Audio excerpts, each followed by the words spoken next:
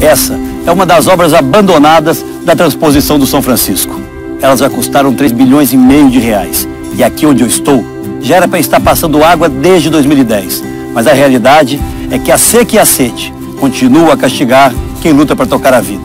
O governo federal gasta mal o dinheiro e o benefício não chega. O Brasil virou um cemitério de obras inacabadas e é isso que a gente precisa mudar. Eu sou Aécio Neves. Vamos conversar? Esse é o eixo leste da transposição do Rio São Francisco, que vai trazer água para quem precisa numa estiagem grave de mais de cinco anos.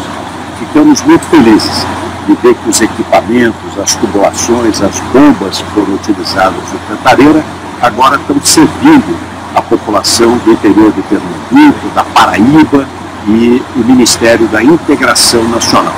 Ajudar o Brasil é nosso dever.